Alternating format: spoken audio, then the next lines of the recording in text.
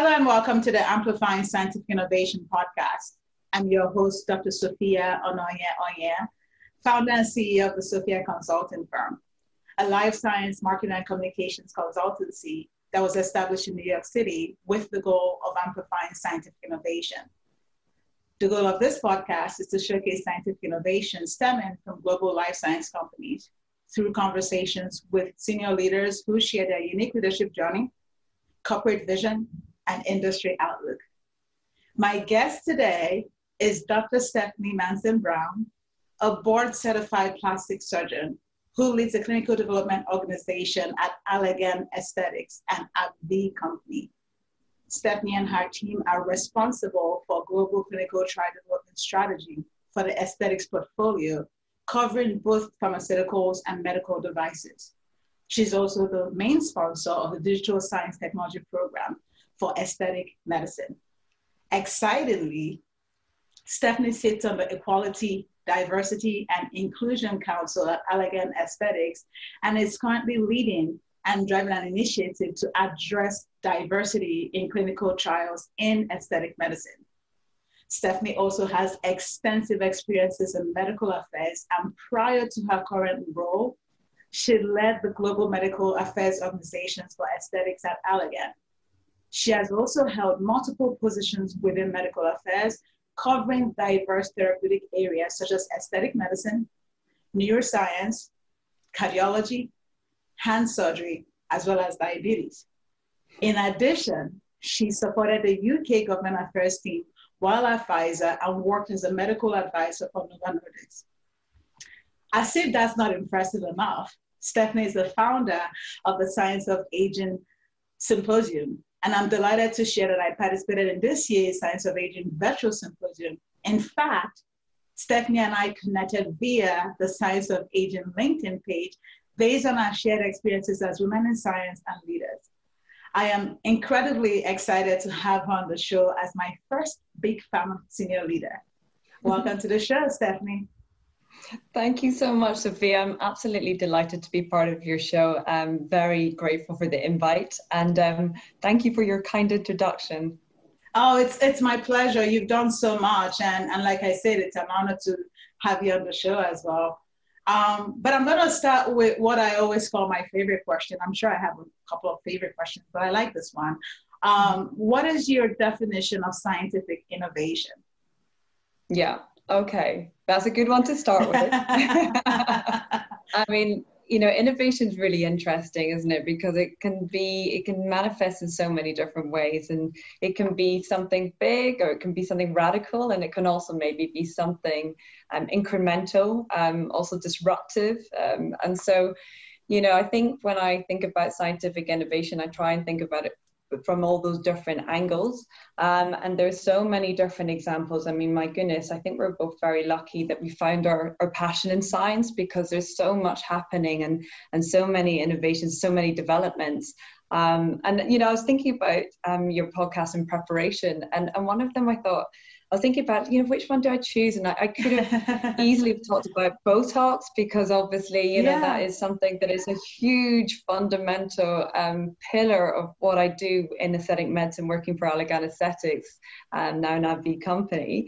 Um, but, you know, th- that has been discussed um, extensively. And it is, I think it still is one of those fundamental disruptive um, innovations and really the discovery around the application to so many different indications. Um, and that's something something that often people just associate it with the aesthetic um, indications around facial wrinkles, for example, but it can be applied to migraines, um, overactive bladder, um, mm. spasticity, you know, the, the list goes on and we're continuing to expand and, and find ways that we can apply it to therapeutic uses as well as aesthetic medicine. Um, but one of the innovations I was thinking about recently was around, and it, it, speaks very much to the science of aging, which you mentioned earlier, um, and it's around this development of deep aging clocks um, mm-hmm. and really kind of trying to develop biomarkers around aging. Um, mm-hmm. And so I just was doing a little bit, you know, there's a lot of um, noise around that and a lot of, um, you know, groups further mm. developing them and refining them. Um, but when I was reading about Steve Horvath, um, who was really kind of the, the pioneer here. Um, and yeah. he's a biostatistician who um, really kind of was, you know, instrumental in developing the first epigenetic um, aging clock. And, and he actually happened upon it, as he says, by fortuitous accident. Right. Um, right. So I thought that that was fascinating, um, given wow. the fact that a colleague had asked him to look at methylization, um, sorry, methyla- methylation um, and whether it correlated with sexual orientation, which he said, said that there was no connection. But he thought, let's have a look at it with aging, and, and really the rest is history. He, he saw that there was a really, really strong signal and then has you know, first published in 2011 and then has further, you know, refined um, and, and, you know, further developed the technique. And, and really it's, it's an area that I think is a very useful tool and i think it will develop you know even further to be able to allow us to better measure aging. So that to me was just a kind of a mind-blowing um, innovation that happened by chance i guess. Yeah serendipity is so powerful. I, I feel like it's the secret sauce to scientific innovation or any, any innovation at that. Um, some of my best ideas come when i'm taking a shower but you, you never know. Like that's just really how it works out. So thank yeah. you for that um, so the follow-up question I have for you is, you know, I've done some research on you, obviously, and mm-hmm. I know you've done so much, and it's so interesting, sort of, you know, your background and your diverse disease state experience. But I'm curious to know what you would consider to be your most significant professional or, or scientific or even clinical achievement to date. Yeah. Um, oh gosh, I think you know thinking about it and um, you know kind of keeping it relative i'm really really proud of the science of aging um, and i really yeah. want to bring it back to that um, and i guess you could put that in professional but it does i think also sort of tie in with the scientific side and the reason being is that it is really truly unique um, mm-hmm. it is something it's a platform that really the inception of it was based on bringing high caliber science to aesthetic medicine and really you know taking a step back and kind of seeing what is it that we could be applying mm. for, you know with regards to the future and and there's so much happening in the field of aging science and longevity i mean it's really exploded in the last five maybe a little bit longer but certainly the last five years and plus and so you know the skin is the largest organ um, and i think there was a little bit of a lack of linking um, what was hmm. happening in the aging science world um, to mm um, skin biology, um, hmm. although mm. it is used um, quite often as a, as a model to be able to better understand um, targets and better understand the effects of some of the therapeutic um, compounds that are being used. So really kind of, and, and, initially when I thought came up with the concept, it was more to do with um, being, I, I mean, it was a, due to a number of factors, but one of them was just that there seemed to be a little bit of a lack of really you know good basic science and, and mm. translational mm. science in aesthetic mm. medicine it existed but it mm-hmm. wasn't always there at the forefront when i was attending conferences and so it was really kind of just to tap into that because as I say, it does exist, and there's a lot of companies and a lot of startups out there doing incredible stuff, and there that is applicable and um, to aesthetic medicine, um, and also researchers who are looking at different aspects, you know, kind of basing a lot of the research around the hallmarks of aging, um, and you know, the, the the the idea was to bring it together and and to mm-hmm. you know create a platform so that you can bring like-minded and passionate people in this field of aging um, research and longevity research and the experts in aesthetic medicine mm. and really kind of bring the two worlds together which has been really an explosion of ideas and, and it's been very well received i would say and i think that there is something um, well, there's multiple different avenues I think we can explore. And so, you know, certainly looking at it from our company perspective, I think that there's some really exciting partnerships um, that will come through this platform. But it's also just about really um, providing the narrative, providing the, the latest research, and to right um, our doctors and, and also you know bringing the researchers into this field that perhaps they wouldn't have necessarily thought that they would um, their, their paths would have crossed so directly into aesthetic medicine um, and I think um, I was speaking to one of our um, investigators she's based um, in the US in New Orleans last week and, and one of the really great things she said is that you know having you know, being being on the um, sim, uh, I joined the symposium last week. She said it just makes me think differently as a doctor. You know, she she was looking at a lot of medical dermatology, but you know, this is about thinking about the future and, and thinking about the cellular and molecular level and all the different pathways associated with aging and, and really, you know, looking into the future of what, what the possibilities are. I think that that's impeccable. As I mentioned earlier, I attended the symposium this year, and I was I was blown away by the diversity of topics. And it's funny because when think people think about aesthetic medicine, they tend to look at it as almost superficial. They don't mm-hmm. understand the depth of what yeah. goes into the, the field itself. So, just uh, uh I'm curious to know, obviously, uh, what were some of the challenges with even having a virtual symposium this year? I'm yeah. sure that was difficult behind the scenes to navigate. Yes. Oh my goodness, you you you've um, really kind of, you know, um, landed on an area that was um, interesting. So first of all, thank you for attending, and and I love hearing your feedback. That's really great to take on board. Um, and and um, you know where we we normally so so it's really still very much in its infancy. Um, this was only the second year running with the scientific symposium. I mean we've set up the linkedin community and an instagram community behind it to continue that narrative. But really the purpose you know one of the kind of the main points is to bring that energy together with the symposium. So mm-hmm. we ran it last year in monaco which is a lovely location but it was uh, which i think might have been a draw for some of our faculty members um, who otherwise might not have said yes. Um, but um, we ran it in Monaco in conjunction with um, one of the conferences. Um, it, it, takes place in Monaco, which is the Anti-Aging World mm-hmm. Medicine um, Conference. Um, and obviously, the pandemic hit. It has impacted all of us. and so, you know, it, it, we were planning to run the face-to-face event end of March, beginning of April this year, and it was right when everything yeah. started to all the different. You know, you could see the kind of the, I guess the um, wave of countries starting to go into lockdown. So. Um, we thought actually, you know, let's turn this into an opportunity. Let's look at the virtual option. Um, and at the time, I mean, I think even within the the, the months, um, you know, uh, pre- uh, preceding March was that there was a lot of, um, I think, you know, kind of further development of the virtual platforms. I mean, we were lucky. We partnered with some excellent agencies who introduced us to the group who provided our virtual platform. Um, but you know, one of the elements was that we just wanted to make sure we were absolutely prepared. Um, you mm-hmm. know, connecting with all of our speakers, um, mm-hmm. going through all the presentations, checking the connectivity and the bandwidth um, of of all of our speakers. Um, and actually, it's interesting. I think at the end, um, my my closing speech, my my the image of my video wasn't great. Um, but it was something that it, it we did realize that it could be challenging, especially in nowadays people are getting a lot of Zoom fatigue. I think that's probably going to be a, a term of 2020 or certainly um, video conferencing fatigue. So we thought actually we could risk, you know, potentially not having very many people attend because there was so many different um, virtual um, events popping up all over the place. But um, it actually ended up really, you know, going going incredibly well. I mean, I, I know I'm biased from saying that, but I was very pleased at how it ran. Mm-hmm. And as I say, mm-hmm. it was turning it into an opportunity. It means that we could access and make it accessible mm-hmm. to attendees who were you know situated all over the globe and so um you know it meant that people who may not have been able to attend the monaco face-to-face right. event um, right. had the opportunity to do so so it's something that I think like this is the future, right? And I think that the, the whole impact of COVID and the pandemic has kind of kick-started a lot of us into thinking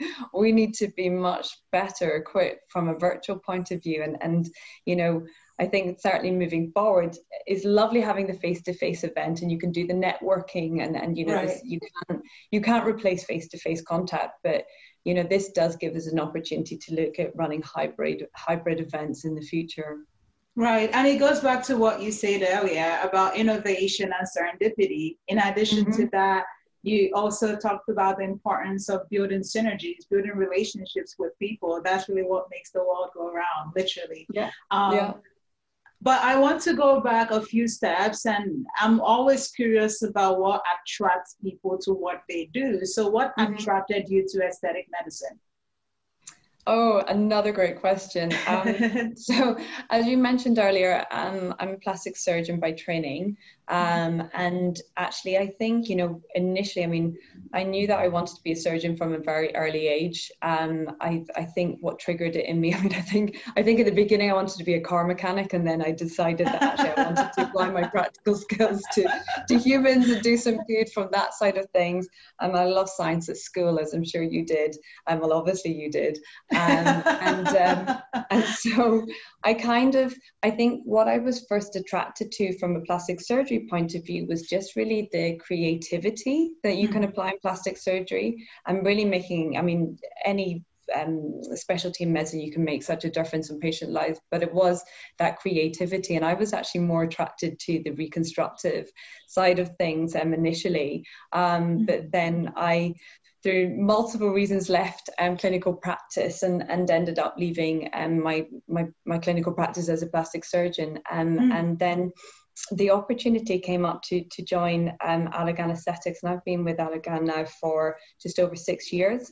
Um, and it was i didn't think that i would be able to translate translate and transfer my skills as a plastic surgeon into industry necessarily mm. because often it is more kind of the bigger medical therapeutic areas that um, are the ones that get more attention um, so joining a company um, you know the famous company with botox was um, was just such an um, opportunity yes. and, and aesthetic medicine it's something actually you know it is aesthetic medicine is actually quite a relatively new term that we're applying and it's something that really speaks to the fact that it is a specialist mm-hmm. area of medicine you know and and it is something that has got a skill set um, applied to it and there's there's a whole you know there's so many different avenues of research and innovation going on at the minute with regards to introducing new developments new technology to the space um, and what interests me and continues to make me passionate about aesthetic medicine is that you know that this um, focus on quality of life. You know, we mm-hmm. you know we are bringing change mm-hmm. um, to mm-hmm. people's lives. We're um, you know giving people the opportunity to enhance their lives,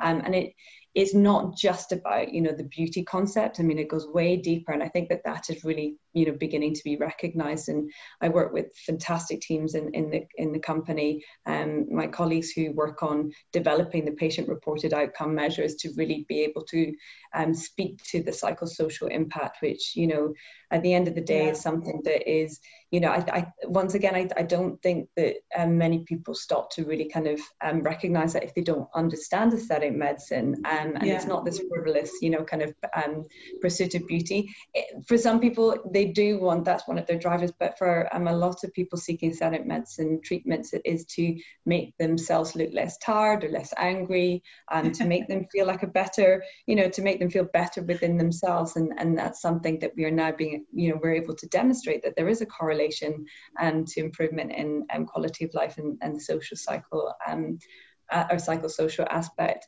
Um, so, and I think there's, you know, there's a lot to to be done to advance the field, and and I think, you know, this is where we can be continuing to apply new developments with respect to endpoint and mm-hmm. development, and to be to to better able quantify what it is that the um, you know that the injectors in practice are able to do Um, because um, currently what the way that we're regulated and the scales that we use are quite they, they you know they don't often reflect the the finesse that's used in mm-hmm. clinical practice it can be quite yeah. a blunt tool um, but obviously you know we we need to demonstrate clear efficacy so um, at the moment we're, we're not able to necessarily translate directly um, some of the optimal um, you know outcomes that are applied in clinical practice um, and I think you know we, there, there's big scope as well to continue to look at um, how we can harness um, the developments in, in aging um, mm-hmm. research and, mm-hmm. and, and also kind of move away from this concept that you know it's just there to make people look younger it's actually to help people you know feel better in themselves as we age longer so you know we're all aging longer so so it's right. it's, it's a great it's going to be a great tool to kind of better equip people to be you know potentially working in their 80s let's let right. you know let's be kind of honest with ourselves Right. I love the whole concept of longevity because we are living longer. And to the point we both made earlier, aesthetic medicine is not just a superficial field. I think that there's a lot of depth in it. And I've mm-hmm. seen a lot of interdisciplinary collaborations within mm-hmm. the field. And regenerative medicine in particular is top of mind to me. At this point, I've had the pleasure of working with CollPlant Biotechnology, yeah. who presented at a Science of Aging yeah. symposium. So I'm curious to know about those types of field, regenerative medicine, for example. How will that impact the future of aesthetic medicine? What collaborations are you seeing? What innovations are you seeing? Tell me more. I, I can't wait to hear. Yeah, I mean, so regenerative medicine is a fascinating field, and, and I loved, you know, having CollPlant come um, and and Nadar um, Nada, sorry, um, come and present, um, yes. you know, the, the technology that CollPlant are developing. And, you know, I guess just, um, I'm sure your, your um, audience already know a little bit about CollPlant because you work um, very closely with them. But I mean, they're, they're really um, doing some really interesting stuff with, um, you know, the um, human recombinant um, collagen and, and looking mm-hmm. at genetically engineering um, tobacco plants to be able to mm-hmm. um, generate, um, you know, the, the, the, collagen that can be applied to so many different aspects of medicine as well as aesthetic medicine. Um, and so, you know, from a regenerative medicine point of view, and that's something that also from our company point of view, we've got um, you know the portfolio that does include um, acellular dermal matrices, mm-hmm. for example, which are used mm-hmm. in breast reconstruction. So moving a little bit away from aesthetic medicine and more in the therapeutic side of breast reconstruction. But I think that there's applications as well when we do look at it from a truly aesthetic um, perspective, because you know you know, at the end of the day, you know, regenerative medicine is looking at tissue engineering. It's looking at, mm-hmm. you know, restoring um, and regenerating human tissue. And, and, and um, so that's something that kind of really does speak to some applications in aesthetic medicine and looking at tissue defects, for example, either from a traumatic point of view or um, a, a, tumor resection perspective. And so that's where, you know, we can be looking at some of the biodegradable or some of the um, scaffolds, sorry, and the biodegradable scaffolds that can be applied yeah. to it. There's a we we're also working, and I think this is a, an area that you know there it's it's I mean, some people call it the holy grail, but you know, hair regeneration. yes, that's something yes that's something that is a fascinating field and, and we've got quite a number of um, partnerships with um, mm-hmm. some of the companies who really is you know continuing to um, develop some really exciting innovations there and, and one again Stemson they were they were part of our um, science of aging um, faculty this year um, mm-hmm. and a really fascinating presentation but you know they're kind of looking at kind of a both um, stem cells, so pluripotent um, stem cells, and, and really kind of you know harnessing the ability to de- differentiate into dermal papillary cells, and but also implanting the, the cells in situ using microscaffold, which mm. is a 3D um, biodegradable uh, biodegradable scaffold. So you know there's so many really interesting applications, and and also I mean I think you know wound healing is an area that that again we can ah. apply to aesthetic medicine um, mm-hmm. and you know looking at the application of scaffolds there, but also potentially you know seeing how we can intervene with the wound healing process. So there's a lot going on, um, and it's something you know from our point of view we're, we are very keen to um, continue developing from a regenerative medicine side of things. Wonderful. One of the things that fascinated me was your interest in diversity in clinical trials. Mm-hmm. I feel that that's impeccable, especially as it relates to aesthetic medicine. And I would love to know how that ties into your, your vision for, for your role at Allergan Aesthetics at AbbVie. Can you please tell me more? Okay. So um, thank you for um, asking that. I mean, yes, I think diversity in clinical trials is absolutely, you know, it's it's a an imperative um, that we we really need to address and and I think you know at the end of the day when when we you know look back and have a look at um you know the the way that generally aesthetic trials are set up you know mm-hmm. it's it's quite you know, outstanding for the wrong reasons that the majority of patients are white female. Um, mm-hmm. And um, the American Society of Plastic Surgery do run um, annual surveys to kind of better, um, you know, understand or kind of to get a, a feel of the land and, and, and um, evaluate the proportion of um, individuals and, and representation um, seeking aesthetic treatment, it does still sit very much with white females, but I yeah. don't think that is truly reflective. And I've had um, some really great discussions with some of my investigators who themselves come from a diverse um, um, you know, background and or skin of color, and they actually have a, a diverse patient population. They're like, well, that doesn't reflect my practice. So, right. you know, this is where, you know, we need to be um, ensuring that we are um, you know, studying a diverse population and making sure that we are recognizing those who are underrepresented in clinical trials because it's, it's a vicious circle. If we're not studying the efficacy and the safety in people with different skin colors, then, you know, it, it's, it, it's very difficult then for us to be able to then translate that into, you know, potentially um, you know demonstrating clinical outcomes and then you know kind of going further to take it to you know advertising promotion and and, and you know um, formulating um, claims around that so it's it's a very it's, it's a as I say it's a it's a very necessary field. It is multi-layered so it's it's looking at you know diversify, diversifying the investigator pool making sure that we're putting in the right support network to hmm. support mm. um, you know some of the younger dermatologists, plastic surgeons who perhaps um, haven't been involved in clinical research, you know, tying on in some of the expertise and experience of our existing um, investigators to kind of help us develop and, and, and understand how we can put those, you know, support networks in place. Um, looking at diverse patient populations. So that's something that you know, from a scientific and clinical trial perspective, we really need to um, ensure that we are very clear as to what does diversity look mm-hmm. like you mm-hmm. know and it is very much does based on um, you know the, the color of skin and race ethnicity but also looking at you know younger patients older yeah. patients gender male right. and female um, right. and also you know looking at transgender as well so it's something that you know it has to have a very methodical thought out considerate approach and so therefore that's why um, you know, it needs to bring in all the different um, advisory capacity, but also really truly understand how we do make a difference rather than just, you know, looking at it superficially and, and saying, great, we've got a few more patients who perhaps fit under what we, and we use in, in, in device trials in particular in, in medical aesthetics, or sorry, aesthetic medicine and dermatology, the Fitzpatrick skin type um, mm-hmm. Categorization. Mm-hmm but mm-hmm. that actually in itself was not set up necessarily to categorize people of different um, skin colors within um, a clinical trial. And it is very much weighted to the lighter skin types.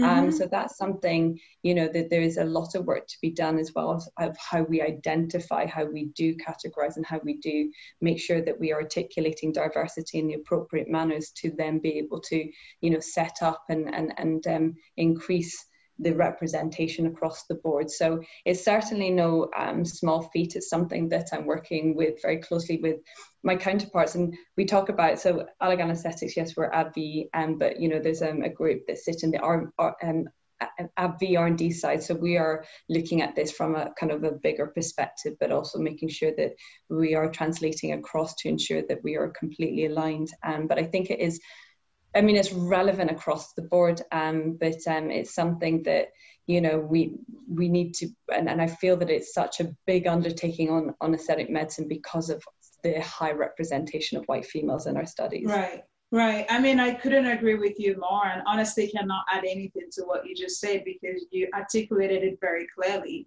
But I'm now curious about something else, and, and that's me and my life. Um, so you mentioned um.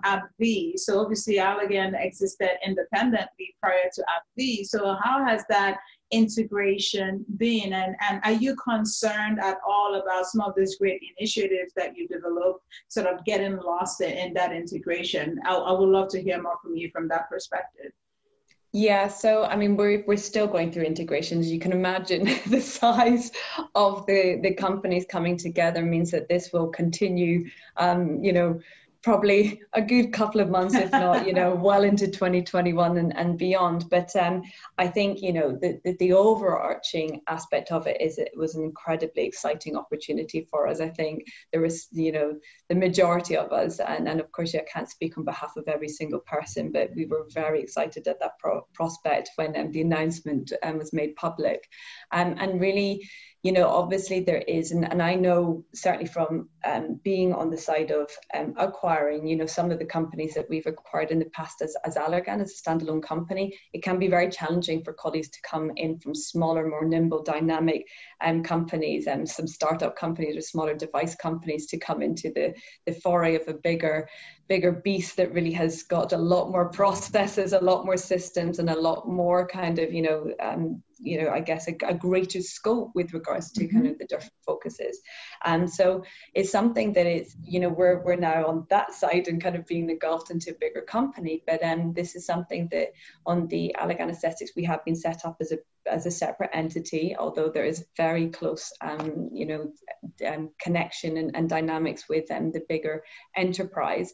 Um, and so, you know, the, I think to, of course, there's always going to be that kind of time period where as we are transitioning and as we're integrating integrating such a complex set of systems, it will take a little bit of an impact. But I mean, our our hope um, and our philosophy is that it doesn't impact, um, mm-hmm. you know, it doesn't impact our clinical trials, it doesn't impact our investigators, and of course on the customer side as well.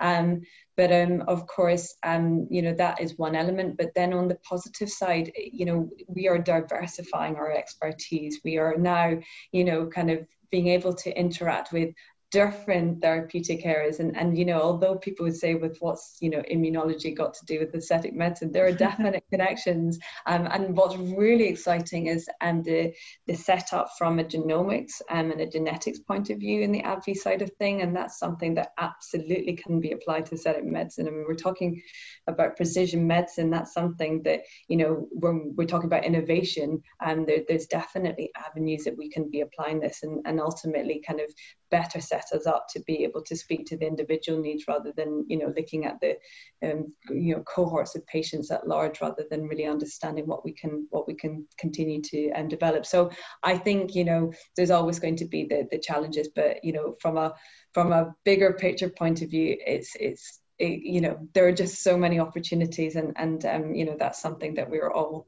very very keen to make sure we're maximizing those opportunities Oh, that's wonderful. Very well said. Um, I'm, I'm curious to know from where you sit. In the past 15 years or so, how do you think the biotech industry has changed and what can we do to get better? So, oh, then that is a great question. I mean, biotech is really you know the transition in the last 15 years i think it's, it's become a really powerful group um, of companies and, and you know kind of the, the i guess the um, source of development of some really incredible and exciting um, assets and, and products and compounds. And i think that that's something that you know, uh, the bigger old school pharmaceutical um, industry approach was very much in-house and development mm-hmm. and this is where there has been that opportunity to, to open out and to kind of make those um, external partnerships and and you know whether that is you know in the form of acquisitions or mergers or looking at you know just supporting from an earlier stage through partnerships and um, and so I think from that point of view you know the the, the biotech industry has really become um, one of the kind of the the, the major um, you know sources of development of innovation, and, and that's something we cannot ignore. And so I think you know moving forward, it is very much, and I'm thinking about you know what can be done to support kind of the continued um, this continued area is is I think partnerships are really key, mm-hmm. and it's about being really mm-hmm. clear as to kind of when to um, you know look for that external partnership and external funding and investment. Um, and you know when you say what can we do better, I think that's a great question because yeah. I, I think you know the, from from the track record of recent years you know the biotech are really the ones who are shaking up the industry and actually demonstrating um, how um, you know we can bring um, you know the the the you know you know compounds molecules and technologies um, to better I think, mirror what's actually required out there and, and really mm-hmm. kind of to reflect what um, the unmet needs are from a patient's point of view and a, and a therapeutics point of view. Um, and I think that there's such a great um, opportunity as well for these um, companies and, and the, in earlier stages to be using platforms to really kind of discuss their technology to, to share that. I guess, I mean, sometimes some of the things this is just, um, you know, when we're looking at and evaluating the opportunity, just need to be really clear at what stage they are and, you know, at the early earlier in vitro stage, that's obviously there's a lot more work needs to be done to kind of fully understand the translatability of the opportunity.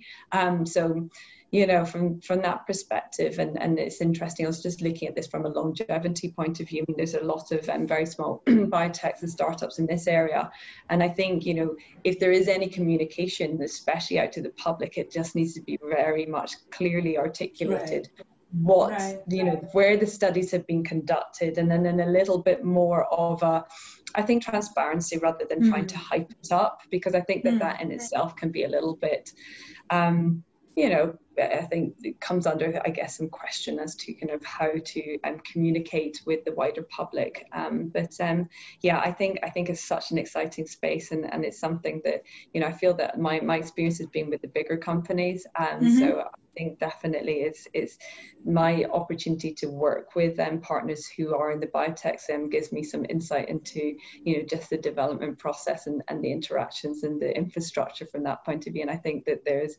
yeah, there's a lot of exciting things happening. I think again you you articulated that very elegantly, and I I couldn't agree with you more. We we started out by talking about innovation, the role that serendipity plays, the importance of building partnerships, synergies, and and just thinking about innovation holistically. And, so I guess my final question is very simple: um, Is there anything else that you would like to talk about? Any commentary? Any thoughts? Anything that we might have missed that you do think it's important to emphasize? Exercise?